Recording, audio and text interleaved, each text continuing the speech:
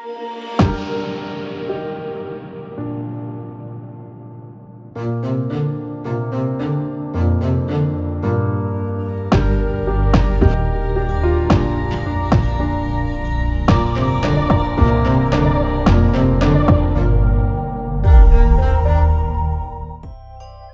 xin chào các bạn đã quay trở lại với kênh youtube của đồng hồ Hải Triều.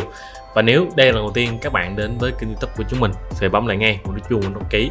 Chúng mình sẽ có rất là nhiều nội dung video hay với các đang chờ các bạn ở phía sau nhé. Rồi, à, như các bạn cũng thấy trên bàn ở đây thì mình sẽ có hai chiếc đồng hồ Orient đúng không? Thì hai chiếc đồng hồ này sẽ được Orient đặt luôn một cái tên là Defender. Đúng theo cái ý nghĩa Defender của nó luôn là người bảo vệ, vệ sĩ cũng được. Thì chiếc đồng hồ này nó sẽ mang cho mình một cái phong thái của sự chắc chắn nè an toàn nhưng nó lại không kém phần mang phong cách phong trần. Cái việc mà nó sẽ thiết kế thế này thì nó sẽ thích hợp với những bạn mà chúng ta đang thích một chiếc đồng hồ máy cơ mà nó phải cá tính và mạnh khỏe. Vậy thì mẫu đồng hồ Orient Defender này sẽ trông như thế nào thì ngay bây giờ chúng ta cùng nhau tìm hiểu về thông tin chi tiết của nó nhé. Rồi à, cái ấn tượng đầu tiên mà khi mà mình nhìn thấy cái mẫu đồng hồ mà Orient Defender này có nghĩa là nó quá là đẹp thực sự như vậy. Mình là một người thích cái chiếc đồng hồ nó phải khỏe khoắn nè và nó phải trẻ trung nữa chứ không phải là nhìn nó dài cổ quá đâu. À, và đặc biệt chiếc đồng hồ này thì mình thấy là nó sử dụng phong cách là đồng hồ phi công là phần lớn nó vừa trẻ trung mà nó vừa hấp dẫn và mình chắc chắn là nhiều bạn sẽ có cùng cái suy nghĩ đó giống mình. Rồi về mức giá bán chi tiết của hai chiếc đồng hồ này thì mình sẽ công bố luôn đi, để các bạn có một cái nhìn chi tiết hơn. Giá bán chính thức của chiếc đồng hồ bên tay phải của mình thì đây là một phiên bản dây kim loại cho nên nó sẽ nhỉnh giá một xíu. Thì giá của nó sẽ là 6 triệu 990 ngàn, là gần như gần 7 triệu. Và cái tên mã của chiếc đồng hồ này sẽ là RA AK 0401 L10B còn chiếc bên tay trái của mình là một trong những phiên bản mà mình thấy khá là thích bởi vì nó có dây da nâu nè và cái phiên bản này là mặt màu trắng ngà. Thì ở phiên bản này thì nó sẽ có giá rẻ hơn là 6 triệu 540 ngàn và mã của chiếc đồng hồ này sẽ là RA AK 0405i 10B rồi, chi tiết kỹ hơn về hai chiếc đồng hồ này sẽ như thế nào thì bây giờ mình sẽ nhấc một chiếc đồng hồ lên để mình nói về thông tin của nó nhé. Thì ở chiếc đồng hồ này thì các bạn sẽ có đường kính ngang trên mặt của nó sẽ rơi vào con số là 42 mm và độ dày tổng thể của chiếc đồng hồ này nó nằm ở khoảng là 12.2 mm cũng khá là ok đúng không? À, mình sẽ ướm thử trên cổ tay 17.5 của mình để các bạn có một cái nhìn chung nhé. Đấy khi lên vị trí mà mình hay đeo thì nó nằm ở đây.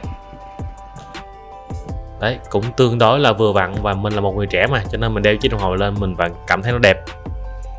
Rồi về vật liệu cấu thành trên chiếc đồng hồ này thì các bạn sẽ có vật liệu chính của nó là phần vỏ này là thép không rỉ 36L còn trên phiên bản dây thép thì nó cũng là thép không rỉ luôn. Đấy thép không rỉ 36L phần bấm khóa thì đơn giản thôi bấm lại các bạn sẽ có hai cái lẫy ở đây để bấm mở ra. Và trên phần bản khóa này các bạn sẽ có dập cái dòng chữ là Orient cũng như là logo hai con sư tử. Rồi à, có một điểm như thế này. Ở phiên bản mà mặt màu xanh này và dây kim loại á, thì mình sẽ có cái dạng mà thép không rỉ mà họ sẽ đánh phay xước như là những chiếc đồng hồ ta từng thấy. Tuy nhiên ở phiên bản dây da này á, thì cái phần vỏ này họ sẽ làm cái màu giống là cái màu matte matte bạc thì trên bề mặt này nó sẽ cho chúng ta một cái độ nhám, đó. Và nó sẽ có một tông màu bạc bạc, nhìn cũng khá là phong trần, khá là bụi bặm. Cái việc mà cái tia chỉnh về chiếc đồng hồ này được làm khá là đẹp và mình cực kỳ ưng ý luôn thứ nhất là họ làm lớn, thứ hai là trên đi nè, họ có hoàn thiện dạng tròn đồng tâm và trên này họ vẫn khắc laser luôn, là hình hai con sư tử. Rồi, về nắp sau của hai mẫu đồng hồ này cũng như nhau thôi, thì các bạn sẽ có một tấm thép không rỉ khá là dày, thì mình cực kỳ thích tấm thép này. Nhìn nó có vẻ nó chắc chắn vô cùng luôn, thực sự như vậy. Và trang bị cùng chiếc đồng hồ này thì à, ở phiên bản dây kim loại đúng không? Thì đây mình đang cầm dây da. Thì kích thước bản dây của chiếc đồng hồ này nó sẽ rơi vào con số là 22 mm và nếu bạn nào chúng ta muốn độ từ dây này sang dây kia thì các bạn sẽ nhớ cái con số 22 mm đó để đi tìm số dây là vừa. Theo mình nghĩ nha và nếu mà trên lệch mức giá khoảng đâu đó khoảng vài trăm thôi thì mình nên lựa chọn phiên bản dây kim loại này. Bởi vì dây kim loại mà chúng ta muốn thay muốn tìm á từ dây da lên á, thì sẽ khó kiếm lắm thậm chí là giá nó cũng khá cao. Cho nên nếu mà chúng ta có điều kiện nên mua dây kim loại rồi sau đó chúng ta mua dây da nó sẽ rẻ hơn dễ độ hơn và chúng ta dễ phá màu nữa rồi, quay trở lại thì ở phiên bản kim loại này thì các bạn cũng có một cái bản khóa đây. Nó cũng có dạng là matte màu sáng bạc, nhìn cũng khá là đẹp. Mình cực kỳ thích cái tông màu này nha, nhìn nó đậm chất đồng hồ vi công luôn. Về tấm kính được trang bị trên hai chiếc đồng hồ này thì các bạn sẽ có một tấm kính khoáng thôi và là kính sapphire. Và ở chiếc đồng hồ này sẽ có một cái mức độ chống nước mà mình cảm thấy khá là ấn tượng, đó chính là 100 mét nước. Đây, khá là ngon đúng không? Một phần là mình nghĩ là do cái nắp thép này, họ sẽ làm gia cố chắc hơn nè. Thứ hai là phần ti chỉnh giờ nữa nếu các bạn muốn chỉnh giờ thì các bạn phải mở khóa nó ra nó sẽ có dạng là đóng rang ốc. Đây nó đã mở khóa rồi chúng ta giặt ra mới chỉnh ra được. Và khi đóng lại thì các bạn sẽ đóng vào. Rồi chúng ta sẽ giặt rang ốc. Rồi về mặt số trên hai chiếc đồng hồ này thì à, các bạn cũng thấy rõ rồi. Một phiên bản sẽ là cái phiên bản là một màu xanh nè có chạy tia. Cái chạy tia này khá là đẹp nha mình cực kỳ thích luôn. Đấy, nhìn vô cùng trẻ trung luôn còn một phiên bản sẽ có màu trắng nó ngày ngày thế này rồi ở phiên bản uh, đồng hồ này thì các bạn sẽ có cọc giờ nó sẽ khá là to bản và sẽ có dạo bên trong. Và bên ngoài niền này thì các bạn sẽ chia những cái con số phút dạng Arab này 60 5 phút 10 phút 15 phút gì đó. Kim giờ kim phút trên chiếc đồng hồ này thì sẽ có kiểu thiết kế là hình lưỡi kiếm và ở trong cuối thân kim nó sẽ được dập rỗng. Đầu kim thì nó sẽ có cái hình dạ quang nhìn cũng khá là ngon. Mình nghĩ là chiếc đồng hồ này dạ quang sẽ khá là tốt đó và vị trí từ 10 giờ nhìn vào thì các bạn sẽ có ô lịch tròn để xem là hôm nay là thứ bao nhiêu 3 giờ nhìn qua là ngày.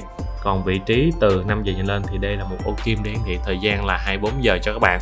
Kim dây thì đầu kim sẽ cách điệu là sơn đỏ và nó sẽ có hình mũi tên cũng có dạ quan luôn. Về máy bên trong của chiếc đồng hồ này thì nó sẽ được trang bị bộ máy là Orient Caliber, có mã là F6B22 thì ở bộ máy này các bạn sẽ có tổng cộng là 22 chân kính nè. Tần số di động của nó sẽ rơi vào khoảng là 21.000 sách một giờ và tích cót trong khoảng là 40 tiếng. Rồi, ok, các bạn nghĩ sao về mẫu đồng hồ Orient Defender này? Liệu trong mức giá là từ 6 triệu rưỡi cho tới 7 triệu thì chiếc đồng hồ này có xứng đáng để các bạn lựa chọn không? Thì các bạn hãy comment để lại bình luận phía dưới nhé. Và nếu bạn nào có những gợi ý hay hơn cũng như là những cái sự so sánh chiếc đồng hồ này với chiếc đồng hồ khác thì có thể comment để lại bình luận phía dưới. Và link chi tiết sản phẩm thì mình sẽ đính kèm phía dưới dòng miêu tả video rồi, các bạn cảm thấy nội dung video hay và hữu ích thì đừng quên bấm vào nút like, share cho bạn nút chuông và nút subscribe để luôn luôn cập nhật những video mới nhé. Rồi, bây giờ xin chào và hẹn gặp lại các bạn ở những video review tiếp theo.